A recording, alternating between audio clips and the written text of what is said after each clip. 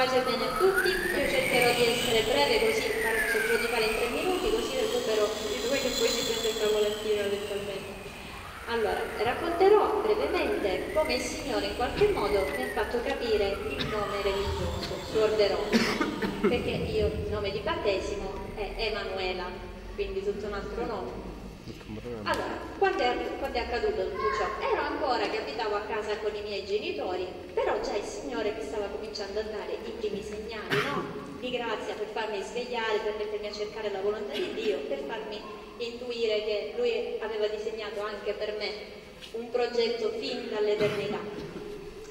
Allora mi trovavo un pomeriggio nella stanza, nella mia ex stanza, sul mio ex letto, che stavo studiando, cioè avevo esami, pile di libri, di esami dell'università, ero lì con il libro in mano, che sfogliavo, quindi non c'entrava niente. La mia mente comincia a pensare da sola, cioè io non la pilotavo, e comincia a pensare, ma se io fossi suora, ma che nome potrei mettere?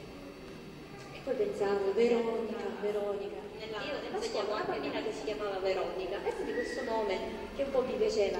Pensavo, Veronica, Veronica, Suor Veronica. Ma sai che Suor Veronica suona bene? Poi quando faccio così, che sono questi pensieri che mi vengono? Cioè, tra parentesi, io non, non, non sentivo di farmi suora, cioè non, non, era, non, era, tra i miei pensieri, proprio non, esisteva, non c'era tra i miei pensieri la cosa di farmi suora. Quindi sono un attimo stranizzata e dicevo, ma che vado a pensare. Eppure San Paolo scrive, dice che lo Spirito Santo intercede per noi con gemiti inesprimibili perché nemmeno noi sappiamo che cosa sia conveniente domandare. Quindi già lo Spirito Santo che andava oltre. Quindi faccio questo così, dico, ma, ma che, che, sto pensando? Scaccio tutto, boh, e continuo a studiare là, libri su libri.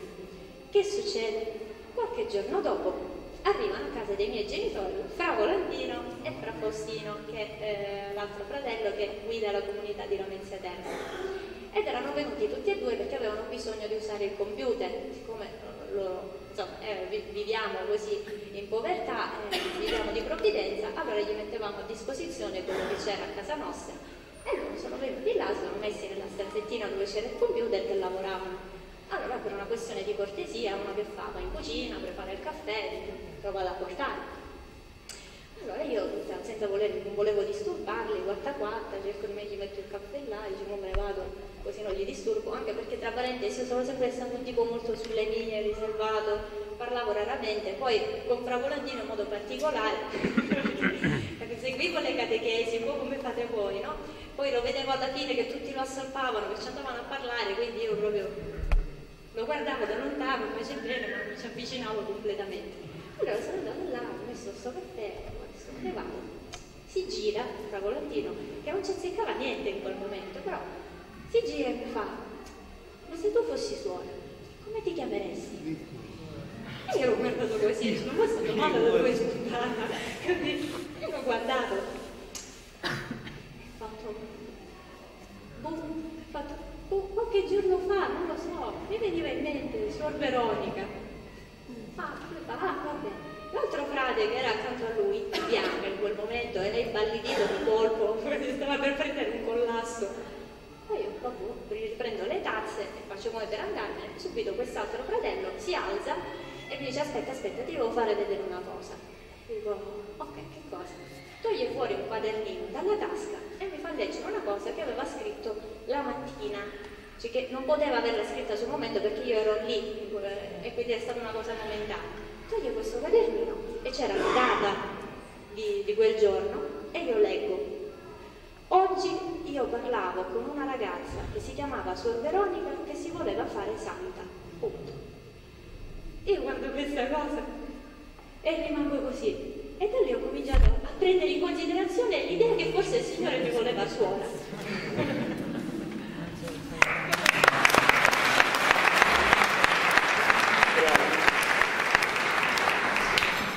Io sono sempre spettatore, ve lo dico, quindi mi guardate strano perché io spettatore sono come voi. Ah, è siciliano come parecchi di voi. Veramente il Signore dice in Isaia, io vi darò un nome nuovo, quindi che solo il Signore conosce. Quindi il nostro uh, cambiare nome non è la comunità che lo impone o lo statuto che stavamo scrivendo quando eravamo nelle, cioè dove abitava insomma, Sortinonica, nella casa di Angelo e di Riccardo, stavamo scrivendo uno statuto aiutati da un eh, vescovo, un eh, ex vicepresidente della conferenza episcopale italiana. Quindi non ci abbiamo messo nel nostro statuto alla fine che dobbiamo cambiare i nomi però sentiamo nel cuore di farlo perché sul consiglio della parola di Dio, sul, sul riferimento anche a Gesù quando incontra Simone, poi lo chiama Pietro, che c'è un'origine etimologica, cioè un significato della parola, significato della parola, che viene da pietra, ma una pietra che poi proprio è una testata, una testa di pietra, quindi proprio è la testa di San Pietro. E quindi questo nuovo, nome nuovo includerebbe se noi lo vogliamo, un programma di vita, quindi la Veronica che è vera, icona, alla fine e poi è vittoriosa, e poi la Veronica eh, della tradizione eh, popolare, sappiamo insomma, che tutti quanti consola alla fine asciuga il volto di Gesù, ma il figura alla fine come che lo consola, e lei consola bene alla fine, in giro vediamo anche Race TV, lei è pronta tutti quanti a mettere una buona parola a noi, eh, ai gruppi, a eh, tutti chi incontra, i fratelli, le sorelle.